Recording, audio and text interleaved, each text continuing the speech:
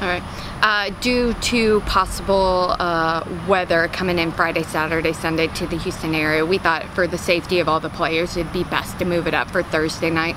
So uh, last minute decision, but the Baylor staff and Rice staff feel it's best for our teams to play on Thursday night. So we'll have a 7 p.m. kickoff on uh, Thursday, which is tomorrow. Um, so come out and, and support the ladies before the weather gets bad here in Houston. Coach, after the opening weekend, what were your uh, impressions?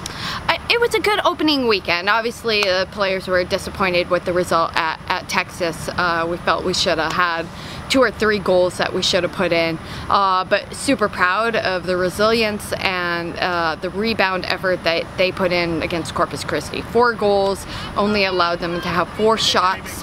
Um, got the shutout. That was important for our players. Uh, like I said, they were devastated after Friday night. So to see them come out on fire the way they did on Sunday is, is a great sign for this team.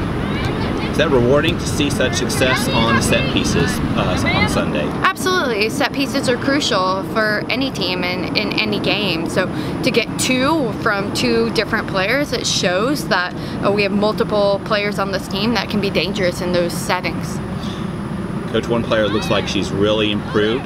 Sophomore Louise Stevens had a great save against the Longhorns coming in and swiping a ball off the line and then she gets her first uh, career goal on Sunday. How about how much has she progressed uh, since last year. Yeah, Louise has, has done a really good job, you know, when she has played her whole club career as an attacking player um, and when she got into our system, we really thought that uh, she could do really well on the back line for us. So uh, she's worked very hard this spring and summer and, and so far is doing a really, really good job. So we need her to continue that. Experience is going to be key with between, you know, our, our entire back line and our midfield. Um, but the longer we get into the season, the better they're going to be.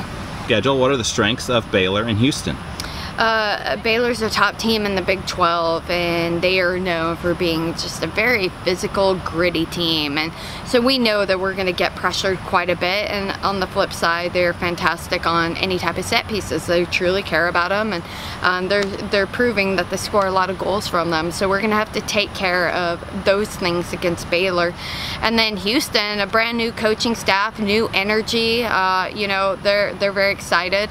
They came off a big win against Northern Arizona and racked up four goals. So offensively, they're going to be very, very dangerous.